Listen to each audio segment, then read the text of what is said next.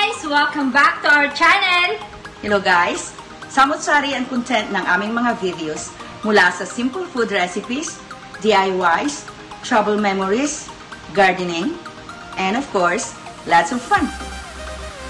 So yan guys, kung bago pa lang kayo sa aming YouTube channel, don't forget to subscribe, click the notification bell para updated kayo sa mga videos namin na i-upload. At mag-comment din kayo kung ano ang inyong masasabi o mga suggestions sa aming mga videos. Thank you! God bless you all!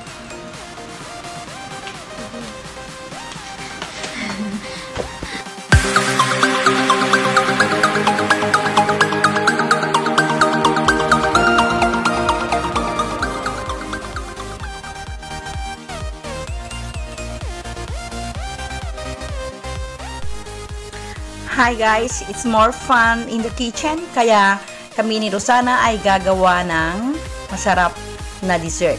Ito ay ang coffee cream and coconut cream jelly. So ano ang aming ginagawa?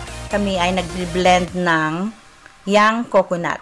Instead of using coconut milk, yan na lang ang aming gagamitin. Bumili kami ng young coconut at aming biniblend yung kanyang laman. Tapos pag na-pure na, yun ang ating gagamitin sa ating coconut cream jelly. So ito na siya guys, naglalagay na ako ng 1 cup of coconut sa pot. Pagkatapos, maglalagay tayo ng another 1 cup of milk. Ayan. Pwede tayong gumamit ng fresh milk o yung powdered milk. I-dissolve na lang natin sa water.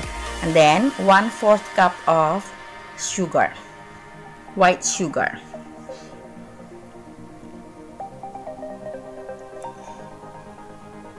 Tapos, tagyan natin ng 1 tablespoon of agar-agar.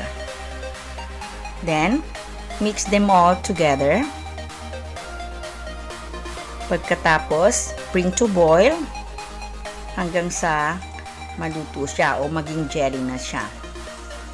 Ganyan siya guys. Oh. Kailangan lang natin parating hinahalo para hindi magdikit-dikit yung uh, jelly natin.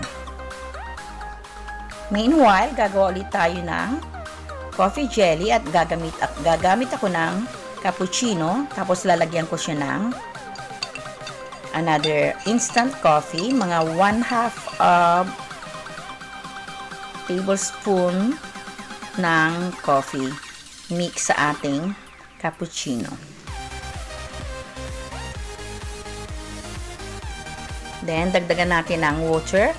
So, gagawa tayo ng 1 cup of coffee at ilagay ulit natin sa pot. Tapos, parehas din ang ratio ng uh, sa coconut cream natin. Lagyan natin ng 1-4 cup of sugar.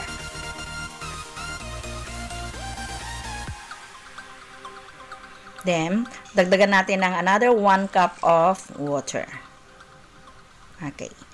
Mix together. Tapos, lagyan natin ng 1 tablespoon of agar-agar.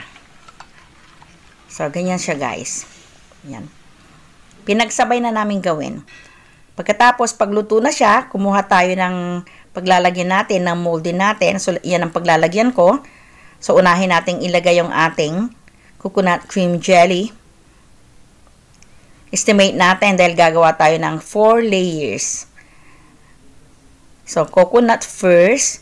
Pagkatapos, susunod natin ang ating coffee jelly. Ganyan siya guys. Make sure na parating mainit yung ating uh, jelly kasi pag uh, medyo lumalamig na, mahirap na siyang uh, i-transfer. Ganyan siya guys, mainit pa. Nilalagay na natin. Tapos, uh, tapos ay isiset lang natin siya ng few minutes para hindi humalo yung uh, coconut um, cream jelly natin. So, ayan, tinalagyan ko na ulit siya pang third layer. So, napapansin nyo, medyo lumalamig-lamig na siya, kaya uh, thicken na siya. Nagsisettle na siya. So, kung ganon ang uh, mangyayari, ibabalik natin siya sa sa uh, apoy para lumabnaw siya ulit. So, ito ayos pa naman ang aking ginagawa.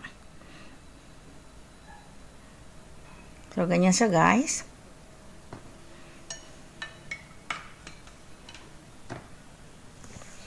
Madaling-madaling gawin lang to. Few minutes lang, meron na tayong uh, masarap na dessert. At uh, murang-mura pa guys. Hindi tayo gagastos ng malaki. Ganyan. So, pagkatapos yung ating last layer, ilalagay na natin ang ating natirang coffee jelly. Ayan. O, diba? Madaling gawin lang. Dahil uh, mainit ang panahon ngayon, pagka malamig na yan, pang ano, pang refresh. Pagka tinitake natin as merienda or after natin kumain ng lunch or dinner. Yan.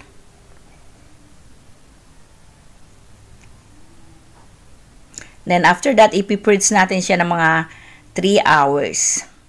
After 3 hours, ganyan na siya guys. Nag-set na siya. Transfer na natin.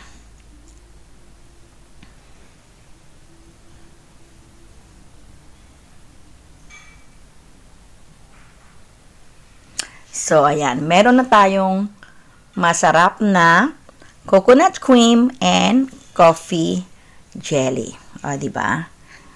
Yan. So, try na natin mag-slice ng masubukan, guys.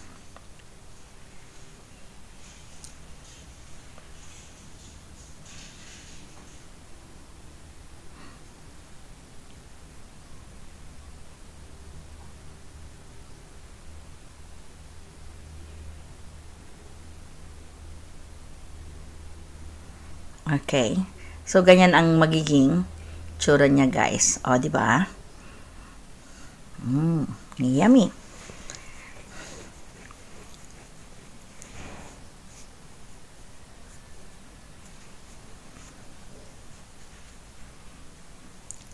So, kakain na kami ni Rosana.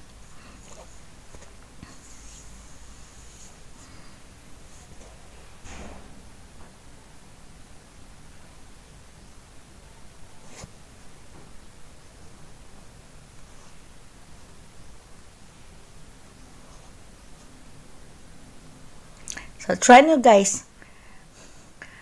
Madaling-madaling gawin lang naman ng jelly. So, that's it for now. Salamat sa panunood. Pwede kayong mag-comment kung ano ang masasabi nyo sa aming pinakita for today.